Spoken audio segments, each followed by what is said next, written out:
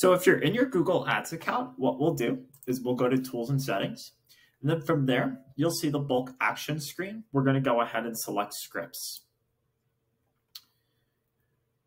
Within Google Ads, you can add in a templated script or a new script. I'll show you how to be able to add in this new script.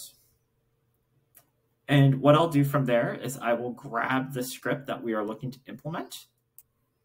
So now we see this code that has a function main snippet, and we'll need to keep that in place, but the script that we're going to implement has a couple of additional things that we'll add in before that. So I'll go ahead and copy and paste in the script itself.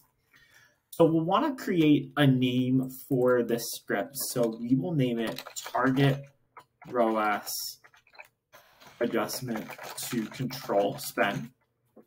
And then before we get into the main function of the script, there's a couple of things that we'll want to check. So first off, we'll want to have a Google Sheet that we're able to use. So that way the outputs from the script when it runs is able to go into a sheet. We'll want to make sure that we have email notifications set up to make sure that's true. We'll double check the email, range duration, and based on the script that you're implementing, some of the inputs here will be different that are above this function. Once we're ready to go ahead and save this, what we'll do is we can run with a quick preview of this within our account. We can run the script right away, or we can go ahead and hit save.